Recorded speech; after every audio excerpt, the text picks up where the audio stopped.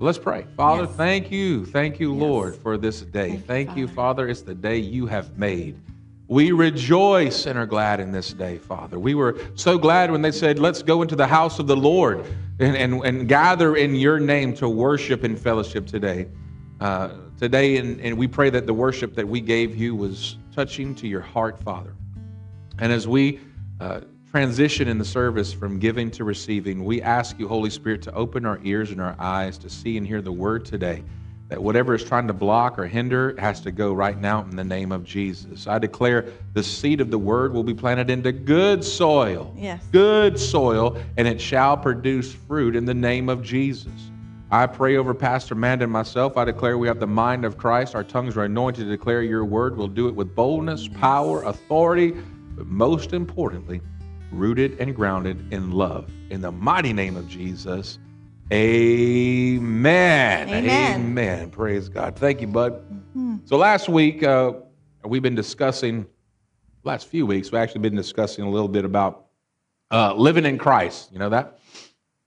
Yeah. How many were here last week? Yeah, a couple of you. A couple of you. I know you were here and you didn't raise your hand. We have a problem. Houston, there's a problem. you didn't know where you were. but we've been talking about living in Christ, Yes. right? And then last week we kind of talked about allowing uh, God to develop in us uh, in, in his image and his likeness. How many remember that? Yeah. And, and here's the good news. If, if you don't remember, go to YouTube. Hit Yes. at Connect uh, Opelika, and it'll come up with our page. And every week after the service, they're loading the edited version of this. So it has just the preaching that you can go on there and, and listen. And, and so it wouldn't even hurt to- to go back before the, this, this service and uh, so there you go. So we're, we're online right there. You can go back before the next service and kind of catch up. So have a refresher. So when we come in, it'll be right there. And, and I believe you'll get more out of it. So encourage you to go and, and to subscribe to that, get notifications when it comes out, and share the gospel with your friends. Um, I, I- do. I know it's, it's me on there and Pastor Amanda. Yes. But I asked coworkers to listen to it. I was like, man, God gave a good word this weekend, and uh, I hope you'll listen to it. And I'm, I'm hearing good reports of that. So Yeah. use that. So if you, if you don't remember, there's a good way to say, let me catch up so make sure I can get everything fresh for Sunday.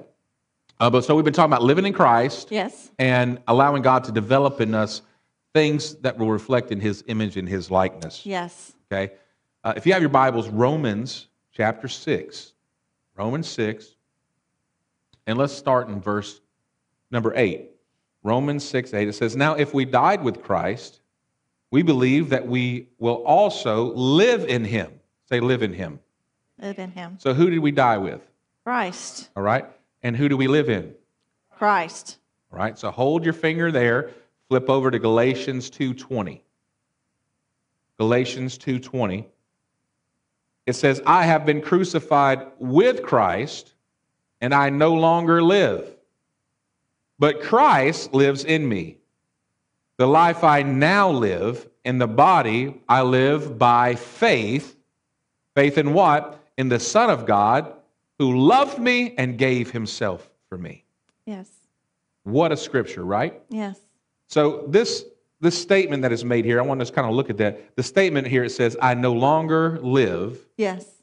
but Christ lives in me." That statement right there is is something I kind of been focusing on Right. and digging into. I no longer live, but Christ lives in me. And thi- this is something that that I want you to understand. A new life cannot come with without the dead of the old one. New life cannot come without the death of the old life. Do you agree? Right. And so when he says to take up your cross daily, that means every day you have to choose to die to self mm-hmm. so that Christ can live that day in you. Yes, we are born again and we have a new life in Christ, but this flesh still lives and will continue to live until our last breath, right? That's right. So we have to continually take up our cross daily so that Christ can live. That's right. So we, we have to crucify our flesh. Yes. All right. So being crucified with Christ means that I have nailed my old nature to the cross. Yes. And what that means is I now live a sacrificed life. Say sacrificed life. Not a religious life, No, no. Because we can live a religious life and still live a self filled life. Yeah, that's that's true. This is not about the works that I do. No. God looks at the intent of the heart and everything that we True. do. If we're doing these works for our pleasure, our gain, and our penance, then that's wrong. Really, what we're doing is we're using manipulation to get God to do what we want Him to do. Right. And we're human beings are bad about that. Yes. That we'll do good to somebody to manipulate them so we get something in res- return. Mm-hmm. And see, we can't manipulate God because He sees our heart, our motive, and our intent. Yes. right? So even though we may try to get through life with manipulations, there's one relationship you cannot manipulate, and that's the one with God, Yes. right? So when we crucify our flesh, it is really an act of surrender, it's an act of sacrifice, and that sacrifice is not to manipulate, but to honor. Yes. So when, when I'm sacrificing my flesh, it is to honor God Yes. and not to try to manipulate God. Yes. Good point, valid point that you brought there. So we live a sacrificed life, right? And I think there's scripture that says that we should be a living sacrifice. Oh, yes. Yes. And and so it does it does align with the Bible. Uh, our life after receiving Christ, this new life requires the death of the old one. yes. Okay? And so let's go back to Romans 6 now. We were in verse 8. Let's jump down to verse 11. In the same way, count yourselves dead to sin, but alive in God, in Christ Jesus. Verse 12. Therefore, do not let sin reign. Mm. I underlined that in my Bible. Do not let sin reign in your mortal body, but that you obey, so that you obey. I put underlined obey its evil desires. Mm. Verse 13. Do not offer, I underlined that, do not offer any part of yourself to sin as an instrument of wickedness, but rather offer yourselves to God as those who have been brought from death to life, and offer every part of yourself to Him as an instrument of righteousness. So I underlined a couple things in here. I, I call them action statements, okay? Um, I, I did underline dead to sin but alive in God because it confirms what we're talking about. We died with Christ, therefore we live in Christ Yes. right? So we're, we're die, we've died to sin. So, but then it goes on, and I want you to see that it's just not a one-time thing saying that sin never tries to pop back up in our life. Mm. We've died to sin means we've died to the control of sin. Yeah. We've died. We've died to the master of sin. Mm-hmm. We now have a new Lord in the new life, and that, that Lord is Jesus. Sin no longer masters us. I'm no longer a slave to sin. You get that? Yeah. I'm no longer a slave to sin. Before Christ, I was no, no option but enslaved to sin, to my flesh, to whatever it desired. I tried to fight it, but it would still come out. Mm-hmm. Right? Right. But after Christ, the new life, I have a new master, a new Lord. Say, new Lord. A new Lord, And his name is Jesus. Say, Jesus. Jesus. So then in this verse 12, it says, Therefore, do not let sin reign. I mean, you know, this is after it told you you're dead to sin and alive in God. Am, am I reading this right? Yeah. I believe 12 comes before, I mean, after 11. Mm-hmm. And 11 says, die to sin, but live in God. 12 says, therefore. Therefore means what? You have a choice. You have a choice. Yes. Okay. So we have to look at therefore. That means something happened before. Mhm. So therefore it happened. So what was therefore? Dead to sin, but alive in Christ. Therefore, do not let sin reign.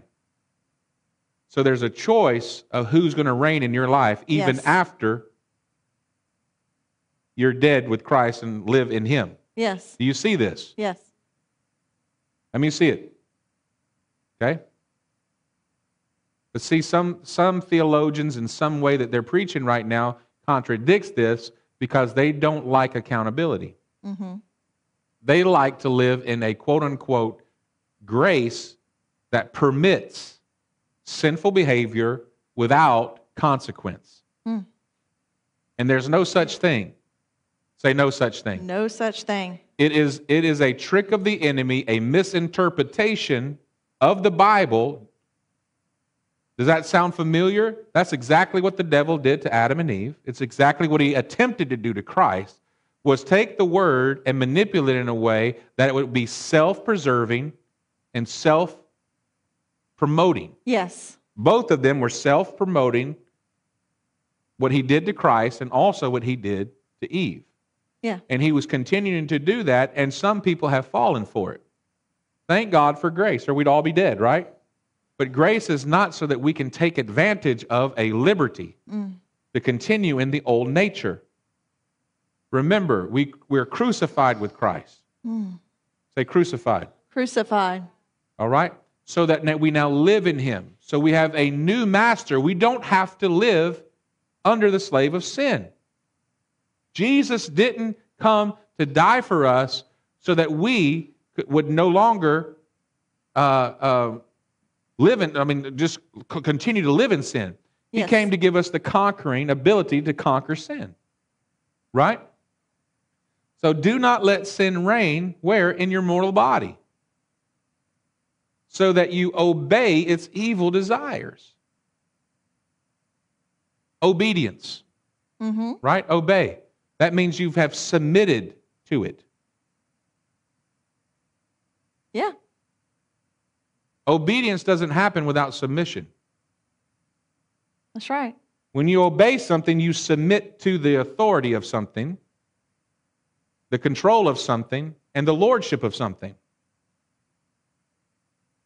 So here's an action word on us that we choose who we obey. Yeah. We choose who we submit to. We choose who we give the authority to. Do you see this is after mm-hmm. accepting Christ as in our life as our Savior? Do you see this? Choices we make. Again, don't think heaven or hell. We're not talking about losing salvation. We're not talking about not getting into heaven. That's all you want to do in a religious mindset. We've got to stop token living. Yes. And we're living out of these tokens. Is my token going to be taken away from me? Well, where's your heart aligned in the first place? If, if you think your token can be taken away from you, your faith is already not where it needs to be. That's right. Hello? Yeah. Your heart is totally out of line. Yes. And we, there's some deeper things to address yes. that we have to do, right? But who we obey, don't let sin. So who, who doesn't let sin? We. We do. Yeah. Say it's a choice. Whose choice is it? Now, here's the good news He empowers us to make the right choices. Where before it was confusing, now we can have clarity. Where before temptation was so overwhelming, now we have the power to resist. Hmm. Yeah. Right? Right. So that's the difference. The difference is before Jesus, you didn't have the power to resist. But now, say now, And now. new life, New life I have the power to resist. to resist. Amen. I hope you believe what you just said. And I underline, do not offer. That seems like Submission. Submission. Yeah. we're giving something away. Yeah. Do not offer yourself to sin. Hmm. So the devil doesn't make you sin. No. You choose, you offer yourself to it. Offering is a sacrifice. And it can be as little as a peek. That's it. A little as a peek, just a tinge. Uh-huh. Offering is a sacrifice. Right. And I've asked this question before who are we sacrificing for? Mm-hmm. That means who am I giving honor to? To my sinful nature or to the spirit nature? Yeah. And we have that choice. Mm-hmm. Either way, we're making an offering. We're either sacrificing our spirit or sacrificing our flesh. You see that? There, I can't have both. So when I make these choices, I'm choosing to sacrifice, to give up godly behavior. I'm sacrificing it to my sinful nature. Mm-hmm. Now, when I'm doing, when I'm sacrificing my sinful nature for God, I see I'm taking it and I'm sacrificing it to Him. Mm-hmm. Well, who's the Lord of the sinful nature? And who's the Lord of the godly nature? That's right. Yep. Do you, I, I'm going to shock you with this. Some of us need to get out of devil worship. Mm-hmm. We need to stop offering sacrifices to the sinful nature. We need to stop giving up our right, our, our right standing to the sinful nature. Say it's not going to work. It's not going to work. Not going to happen. Amen? Do you see, do you see the severity of this? Do you, can you, the, the biggest trick of the enemy is, I heard this from a minister, the biggest trick of the enemy is, is to believe he doesn't exist, Yes. right? Because Yeah. you'll never resist what you don't believe exists. That's right. And the biggest trick of the enemy inside of the church is, is for us to not believe how serious God is about his kingdom, his principles that we should be following, Yeah. right? And it's a trick of the enemy. This is serious. And if he can come in and show that there's no seriousness to it, then he's tricking us. That's right. That's what the devil does. You know, he's a trickster. Have you ever, have you ever heard the wiles of the devil? Oh, yeah. It's in the Bible. You know what the wiles means? The tricking, the cunning behavior, Yeah. the tricking, cunning behavior of the devil to deceive the believer. That's what he's trying to do with these darts that he throws at Yeah. us. Mm-hmm. They're darts to deceive the believer to have faith or sacrifice something opposite of what God intended. Amen. Yeah. Say no more. No more. Why? Because we have the Holy Spirit. That's right. We have the Word of God. Amen? Get in the Word, have the inner witness of the Holy Spirit, and you'll never be fooled. Yeah. Say never. Never. So, do not offer yourself to sin, but rather offer yourself to God. See the two sacrifices there? Offer every part of yourself to Him as instruments of righteousness. Amen. So, living in Christ is not a lifestyle of being free to sin, it is a lifestyle of being freed from sin. See, one thought enables sin, and the other empowers us to conquer sin. Now, I was reading uh, Ephesians 4, and it came, same thing, but it gave it a different perspective, a Okay. different look. Uh, and I like how Paul says it here in the Amplified, starting in verse 17. So, this I say and solemnly affirm together with the Lord as in his presence. What does that mean? He got a word from God, Mhm. okay? That you must no longer live as the unbelieving Gentiles live. Hmm. Talking to the church. Yeah, he's talking Okay. to us. In the futility of their minds and in the foolishness and emptiness of their souls. Mm. So, so, so, how do we live? Uh, Read that again. That's Yeah. good. That's good. So, it's in the futility of their minds and in the foolishness and emptiness of their souls. Mm. For their moral understanding is darkened and their reasoning is clouded, Mm. deceived. Yeah, that's Okay. deception. They are alienated and self banished from the life of God. Oh, oh, oh, oh. How, self banished. They, yeah, they are self banished. So God didn't banish them. No, They're self banished. right, They're choices. right. Ooh, that's good. with no share in it because of the willful ignorance and spiritual blindness that is deep seated within them. That means they're stubborn, Willful. willfully, Hmm. hard hearted. Because of the hardness and insensitivity of their heart. And they, the ungodly, in their spiritual apathy, that Oh, we means the about this. conviction is there, but Yeah. they, you know what? It's okay because God's going to let me do what I want to do, anyways. Mm, mm, Having become calloused and unfeeling, mm. have given themselves over as prey to the unbridled sensuality, eagerly craving the practice of every kind of impurity that their desires may demand. But here's the kicker but you did not learn Christ in that way.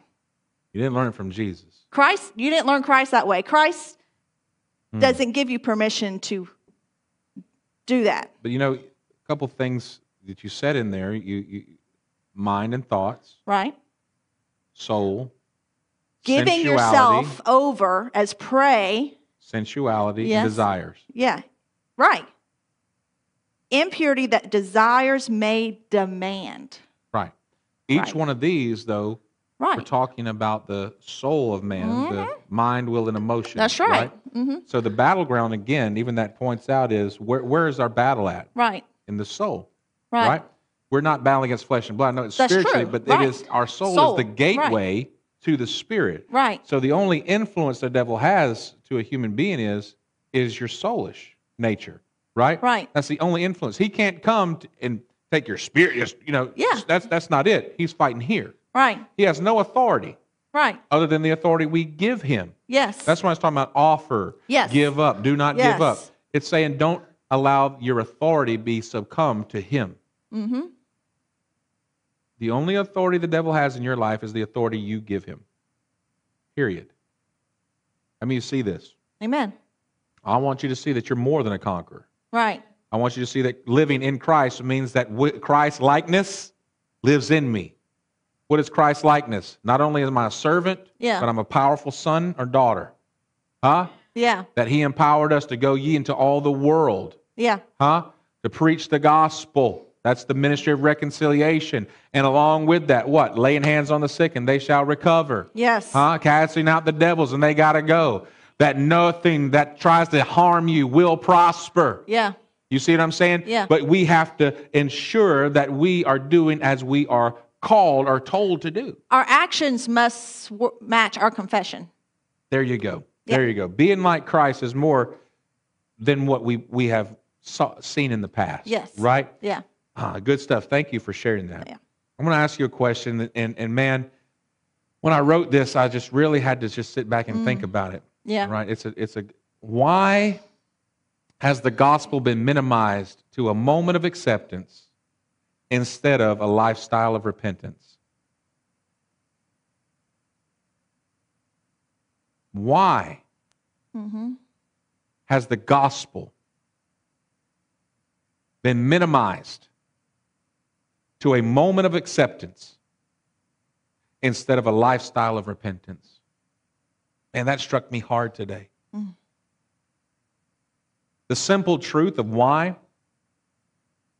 is because of self centered theology. Mm-hmm. It has become popular once again. This is not something that's new. No. Self centered theology tried to enter into the church almost immediately after it was, it was born. Yes. Mm-hmm. See, the gospel has been quote unquote simplified. I think it has been censored to appeal to people's soulish ways and desires. Yeah. We are in an age of a censored gospel. A gospel that is being preached from pulpits that is censored out righteous living, holy living, Mm-hmm. Repentance. Hello? Godliness, holiness is all gone because it's censored out to appeal to the ear of the listener.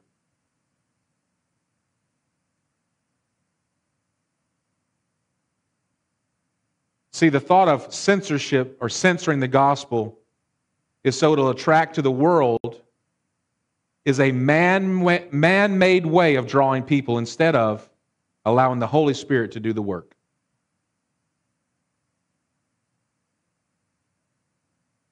We have got a gospel that's coming forth across pulpits, across our nation, across the world that we have influenced. I believe the Church of America has influenced a lot of churches, even around the world. We're a great influencer, Mm-hmm. but we have to be careful what we're influencing. The same thing of influencing positive, negative can be influenced as well. Amen. But we have got a gospel that's going forth that has been censored to living a life like Christ, dying in Christ so that we live in Christ. Yes. And we have got to ensure that we stand up for righteousness and truth, that we don't succumb ourselves to a self centered theology. And it won't be popular, No. It won't be the one that everybody wants to, not yet. But this is the same thing that happened back then. Not yet until God becomes holy again. That's right. The censorship of the gospel inside the church does not build the kingdom of God. No. Numbers gathering to the church does not mean the kingdom is being built. It means that church is being built. Yes. God didn't come to build your church, He came to build the kingdom. And a lot of people give homage and glory to the church, building, gathering, rather than glory to God and why we should be gathering. That's right. I have seen the church become an idol, Yes. the gathering become an idol, Mm-hmm. to where we've lost meaning of why we even come together. To where it has become a social gospel. Social, not empowerment. It has become a social gospel, a networking availability yeah. To where we feel like we're accomplishing something, but we're not building the kingdom of God. Amen. Good works does not necessarily mean kingdom building. Charities are not necessarily kingdom building events. So if we're basing on the effectiveness of charities given into a community on the kingdom being built, wrong. There are many charities that are not godly at all that give to help people in the community. Mm-hmm. And the church has to be more than a charity giving organization. Mm-hmm. It needs to be a life giving organization, Yes. a life empowering organization, right. a life changing organization. We can't look like the world and expect the world to change and have anything to do with it. Right. We have come to a place that mankind has tried to manipulate people to gather numbers to look like it's something that's of the kingdom instead of saying, Holy Spirit, you're the one that convicts, you're the one that draws. I'm not going to compromise the word for an ear. That's right. Because if I compromise the word from an ear, there might just be someone here, their heart needed to be changed that day. They Yes. needed true life to come that day. Amen. Amen. man, it, it, it just irritates me so. And I'm passionate about it because I'm tired of my God being trying to be played and painted for something that he's not. I'm tired of my Jesus being downplayed of the sacrifice that he made for us. Mm-hmm. I can't stand it. I can't stand it. Mm-hmm. And I won't stand for it either. Amen. The censorship of the gospel inside the church does not build the kingdom of God, but rather builds the house of man. Mm-hmm. And that, my friend, is something that really hit me today is, is we need to stand against the building of the house of man. Yes. We have many temples that are being built as house of men, houses of men, rather than houses of God. Yeah. So many churches today are being built to exalt man rather than God. And as I was writing this down, something came to mind. It reminded me of a story in 1 Samuel. And I want to kind of just walk you through this story, 1 Samuel chapter 4. See, in this, in 1 Samuel chapter 4, that it talks about the Ark of the Covenant was captured from the children of Israel. It was taken in battle by the Philistines. Yes, the very Ark of the Covenant, the most holy representation of God that dwelt amongst the people, was captured by the enemy and taken away from them. See, I believe the Ark of the Covenant was taken away from the children of Israel because the priests of Israel were corrupt and they were filled with selfish, self centered desires. See, the Ark of the Covenant was taken because of this. These priests were the sons of Eli. Eli was the high priest of Israel, and he had two sons that were there that were the priests inside of, of, of Israel. It was a known fact that his sons were doing ungodly things while wearing the garments of priesthood. Yeah. I want you to get that fact. It was well known. Even Eli knew about it. Yeah. There's no way that he could he could hide from the fact he's doing it. I mean, we're talking about a community that Mm-hmm. They're that you know people gonna gossip. But he had two boys that were living ungodly lives and doing ungodly behaviors while still wearing the garments of priesthood. Ooh. Sounds very familiar today. We should be wearing the garments of priesthood Yeah. today, Yes. but yet knowingly doing ungodly things and behaviors. 1 Peter 2 5 says, You believers, like living stones, are being built up in a spiritual house for a holy and dedicated priesthood to offer spiritual sacrifices that are acceptable and pleasing to God through Jesus Christ. That's New Where- Testament. Where's it at? 1 Peter 2 5. 1 Peter 2 5. Yep.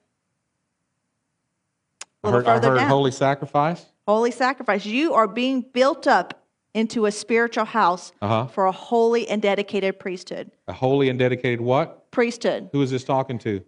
Uh, us, believers. believers, right? The believers. This is the new life and born again believer Yes. is talking about, correct? Yes. Yeah. So here we have the priesthood in the Old Testament, and here we're referring to the priesthood in the New Testament. Right. A few verses down, but you are a chosen race, a royal priesthood, a consecrated nation, a special people for God's own possession, so that you may proclaim the excellencies and wonderful deeds and virtues and perfections of him who called you out of darkness into this marvelous I'm light. thankful we are called the, the priesthood. we are right? the, we are the priesthood. Sometimes we focus on that because it builds our pride. Yes. But we have to understand that with the priesthood comes responsibility. Amen. Amen. With priesthood comes responsibility. I'm going to show you when you don't carry out the responsibility of priesthood, what happens. I'm going to show you right here in 1 Samuel. Go ahead. Right. So I, I want you to see this, and I want to I'm going to show you something that God had revealed to me as I was reading this morning after you had sent this. So go ahead and do that. I'm going to show you something. Okay. Okay. All right. Yeah, we talked a little bit about this this Right. morning. I was like, "Did you read the notes?" Yeah, I'm. I'm telling you, this. th- I believe this is of God. How many will listen? How many have ears to hear? All right. So the priests were the sons of Eli. He was the high priest, and they the sons were known for doing ungodly things while wearing the garments of priesthood. But Eli never addressed or dealt with it, and he allowed it to go on. See, the sins of the priesthood caused the glory of God to be removed from their midst. The sins of the priesthood allowed, say allowed, the glory of God mm-hmm. to be removed from them. See, here it was literally that God's glory was with the ark and it was removed from them. Why? Because the priesthood was not counted as holy, was not taken with responsibility.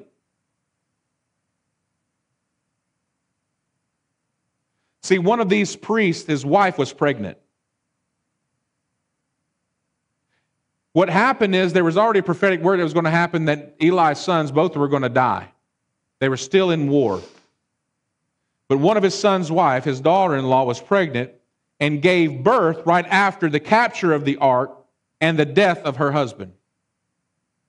Right after this, she gave birth, and the Bible says, in her shame, she named her newborn son Ichabod. Let's look at it. 1 Samuel 4 21 and 22. She named the boy Ichabod, saying, Listen to this the glory has departed from Israel because of the capture of the ark of God and the deaths of her father in law and her husband. See, not only did the boys die, but Eli died as well. When he heard about the boys, it said that he fell back, and when he fell, he landed on his neck and broke his neck and died. Mm-hmm. The house was cleared, but the glory was gone. Even though it was cleared at that time, it was cleared.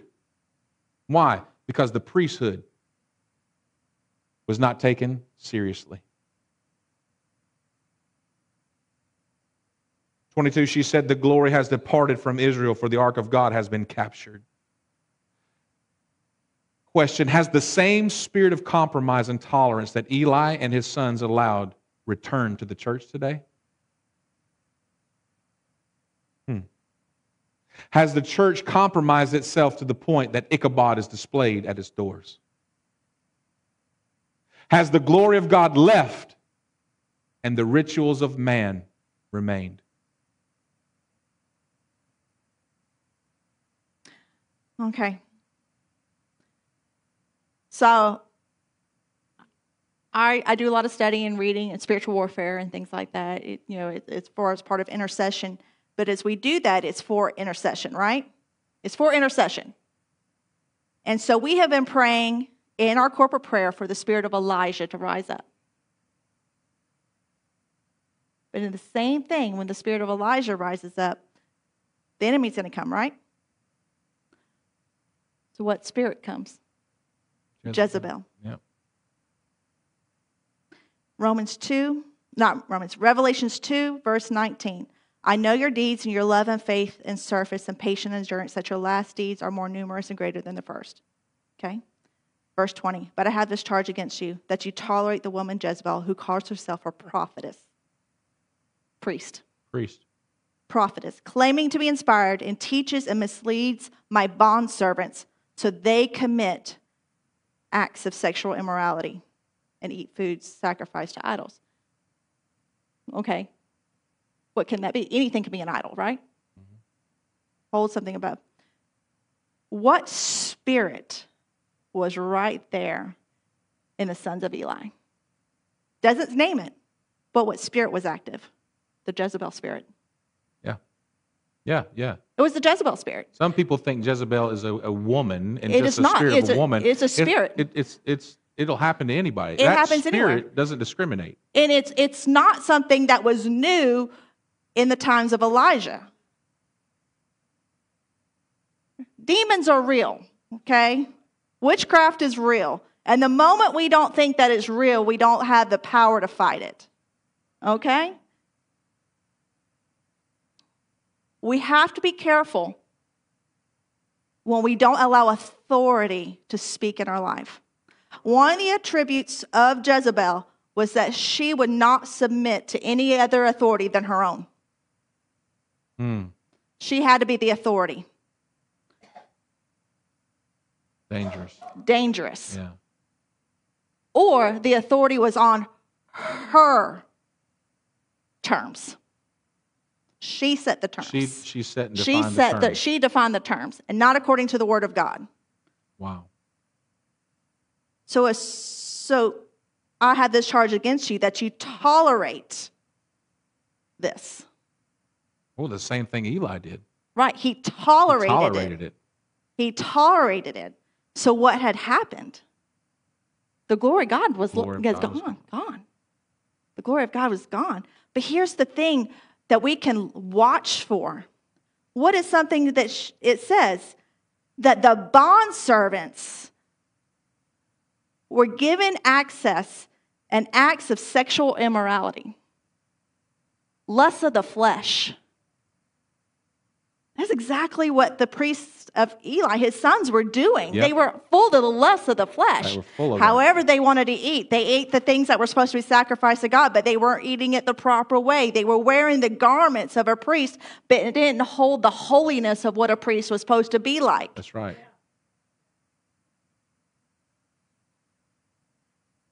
So a compromise came in, and the glory had departed from Israel. We don't want the glory to depart from the church. No. But what had to, what needed to take place? They didn't find God as holy. God was not holy to them. So therefore, whatever I do, it doesn't make a difference. Because I'm still wearing the garments of a priest. And that's exactly what the church has done right now. That's it. I've accepted, I know who Jesus is. That's it. Yes. but they didn't take the garments of the priest. They, they to take it advantage of. That's right. And so what has done is Jezebel, the spirit of Jezebel, has come into the church Mm-hmm. and comprom- allowed the compromise of the body. That's right. So if you really want the spirit of Elijah to rise up, you need the authority of the church, the pre the stand because it's it's through here the head to correct that Jezebel. Because who who was the one who killed Jezebel? Jehu the king. It wasn't Elijah the prophet who had to take authority. The head. The head. Right. So Eli didn't take his proper position as head, As head. And it cost and it cost. Cost him his life and Yes. it cost the glory of God. That's right. And it affected a nation. That's right. See, that's what sin does. Sin infects people around you. Right. It's not just going to affect you, it's going to infect others. Right. But here, the glory of God was removed because the priesthood was worn without honor, Right. Yes. without honor Right. and holy regard to the Father. Yes. And that's a dangerous position that we are seeing in the church today. I've been talking about the compromise of the church for a while, Mm-hmm. but this stood out to me as more solid evidence of what we have been talking about, biblically backing up and, and pinpointing this spirit that's behind this. So we now we see and we can attack, right? Because there's one thing in Revelation said tolerance. Tolerance. That word, isn't that a, a very familiar word today? Is tolerant? Yes. Huh? Tolerance. We're talking about we got to tolerate this and tolerate that. But he's saying, I, only, I got one thing against you. It's mm. tolerance, Tolerance. Yes. right? But see, tolerance is not just I love people the way they are, it's I accept what they do as okay, Yeah. as all right behavior. It's fine by me. And we've presented a gospel that God is, is saying that to others. What we presented a gospel is you can wear priestly garments and live like devils. And that's what we have presented. And that's why you see an absence of the glory of God in that church today. Period. So this was my prayer binding the spirit of Jezebel that has dug her nails into others for her own selfishness. I'll call them loosed and free.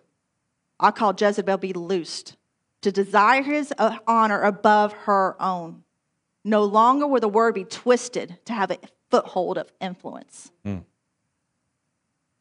And just like Elijah, I pray against what he did in turn. I will not run.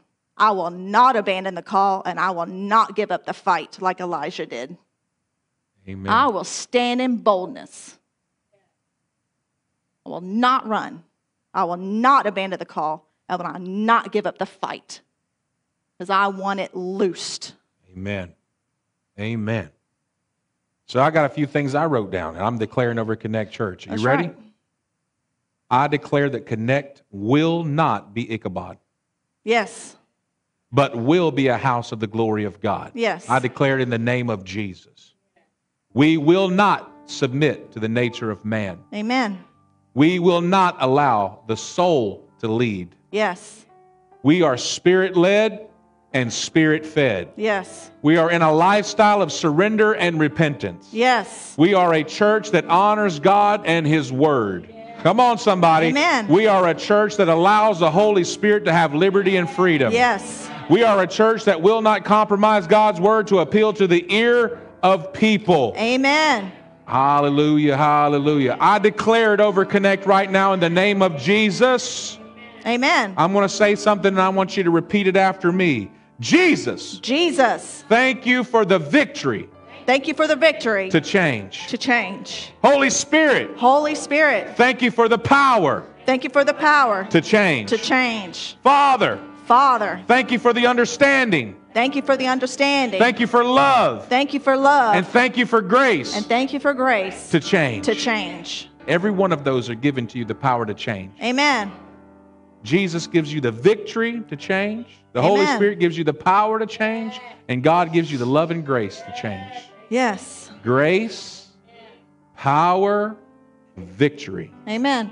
Say it with me grace, Grace, power, power, and victory. and victory. Come on. Grace, Grace, power, power, and, and victory. victory. Grace, grace, power, power, and and victory. victory. And I declare you have it in the name of Jesus. Yes. Amen. You have the grace, the power and the victory Amen. to change. Amen. You don't have to be that old person any longer. You don't have to submit to your old ways any longer. Why? The grace, the power, and the victory. Amen. I've got Jesus, the Holy Spirit, and the Father has sent them to me to have victory here and now. Amen. Can we give God a hand clap of praise Amen. today? Amen.